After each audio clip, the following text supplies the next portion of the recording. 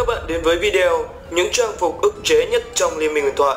Dù chỉ là những chủ đề mang tính chất hài hước, không nhằm đả kích đến một cơ quan tổ chức có thẩm quyền pháp lý nào. Các thành viên trên trang Reddit cũng tế rất nhiều ý kiến, vô cùng có lý và hài hước. Đầu tiên là lý do nói nhiều nhức đầu. Tất nhiên, ai cũng muốn có những trang phục huyền thoại đắt đỏ như giàu ở Tam Đảo. Vì là những trang phục huyền thoại thì nó phải khác biệt với những trang phục còn lại, kể cả hình ảnh lẫn lời thoại. Nhưng nhiều khi nó lại phản tác dụng Đặc biệt là trang phục Nunu Máy và Rumble siêu nhân thiên hạ. Nunu Máy vốn đã là một huyền thoại trong cộng đồng người chơi Liên minh huyền thoại về độ ức chế Bởi những câu thoại dành riêng cho trang phục này.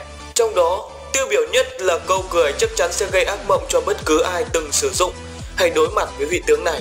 À à à à à à à à Nếu bạn muốn thử thách về khả năng chịu đựng của mình Nunu Máy sẽ là một lựa chọn số 1 Thử thách khủng khiếp. Nếu bạn chưa có tiền để mua Nunu máy, Hãy xem hết video về điệu cười của Nunu máy lặp đi lặp lại trong vòng 10 tiếng. Tuy sinh sâu để muộn nhưng Rumble siêu nhân thiên hà cũng tỏ ra không kém cạnh với người anh Nunu máy khi siêu nhân Rumble nói nhiều một cách không thể chịu nổi, Nếu bạn đang thắng thì không nói chứ bạn đang thua đường mà nghe cái giọng hống hách tỏ ra ngầu của chú Jordan này, lại nhảy bên tai thì chắc có ngày đáp mẹ máy tính ra cửa sổ có lẽ Rumble siêu nhân ngân hàng, xứng đáng với danh hiệu trang phục lắm mồm nhất Liên minh huyền thoại.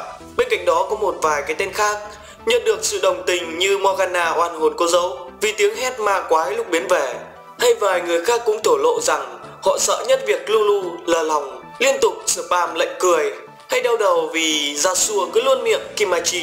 Yasuo dạ trông ngầu thật đấy nhưng cũng đau đầu ra phết. Lý do 2, hiệu ứng chẳng rõ ràng gì cả. Hầu hết các trang phục trong Liên minh huyền thoại đều được thiết kế để không ảnh hưởng gì đến lối chơi, nhưng cũng có một vài ngoại lệ. Một trong số đó là trang phục Blizzard. Khi hiệu ứng của cú kéo quỳ, bàn tay hỏa tiến của trang phục này khác hẳn với những trang phục khác, mà rõ ràng việc bị kéo liên tục hay trượt liên tục mà không hiểu tại sao thì ức chế là chuẩn rồi.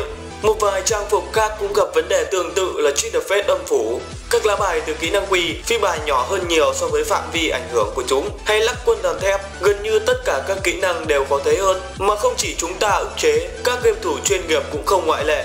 Khi ở một số khu vực, các trang phục này đều bị cấm sử dụng trong các giải đấu, đảm bảo sự rõ ràng. Hiệu ứng màu mè đôi khi lại gây ức chế cho những game thủ nhà nghèo. Thực ra đây cũng không hẳn là lỗi của Riot Game, khi các trang phục này chỉ gặp lỗi hiển thị không rõ ràng ở những máy tính cấu hình thấp, nhưng cộng đồng Reddit cũng trêu đùa nhau rằng đây là trang phục dành cho nhà giàu. Bạn phải mua máy tính cấu hình cao nếu không sẽ ức chế đến chết mất. Lý do 3.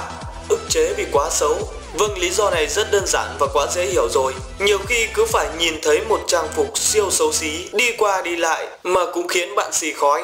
Và những hoa hậu được vinh danh ở đây gồm Lulu lờ lòng bánh ngọt và Poppy kẹo mút trong đó là trang phục Poppy kẹo mút.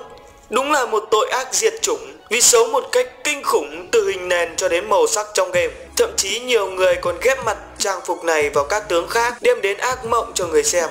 Rengar và Skyler sẽ đáng sợ gấp bội lần với sự trợ giúp từ Poppy kẹo mút. Một ý kiến khác cũng được ủng hộ nhiệt liệt đó là trang phục Temo tình báo. Bởi vì lời giải thích quá ư là hợp lý của người viết nếu bạn đủ độ xấu xa và độc ác để chơi demo đồng thời đủ tài chính để mua các trang phục cho ác ma này thì chí ít cũng phải chọn bộ trang phục nào dễ thương một chút. Chimo tình báo cũng nằm trong top những trang phục tệ hại nhất bạn có thể nhận được từ hộp quà bí ẩn. Cảm ơn mọi người đã quan tâm theo dõi. Nếu bạn thấy hay thì đừng quên like, share, subscribe để ủng hộ channel và nhận những video mới nhất bạn nhé.